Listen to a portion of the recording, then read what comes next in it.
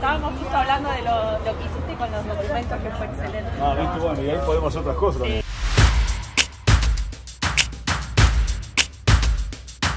Estuvimos primero temprano en, en Lomas de Zamora, conversando con todos los comerciantes del ámbito gastronómico que nos plantearon sus dificultades. Seguimos haciendo lo mismo, para que quede claro, el resultado va a ser el mismo. Yo trabajé de guardavidas.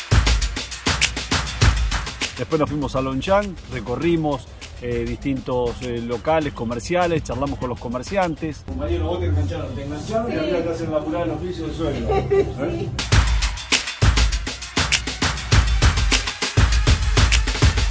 ¿Te has comprado un caldo de toro? Y sí. ¿Y 12 cuotas o no? Ah, tres cuotas. No, no querés cuota, no, No. quiere quedar viviendo. Hola chicas, ¿cómo le- me gustan esos barbijos, ¿eh? Maestro, Gracias. Y acá nos vinimos a Florencio de Valera, a la casa de Sebastián. Sebastián es un deportista eh, paralímpico, ya que tiene un problema de hipoacusia y es un ejemplo, porque su familia en plena pandemia le hizo una pileta con chapa y nylon y calefaccionada con leña para que siga practicando el deporte, porque en realidad la mamá lo veía triste, lo veía que no tenía esperanza y sin embargo la recuperó a partir de esta, esta vocación y esta, este compromiso y este amor, diríamos más que cualquier otra cosa, de los padres.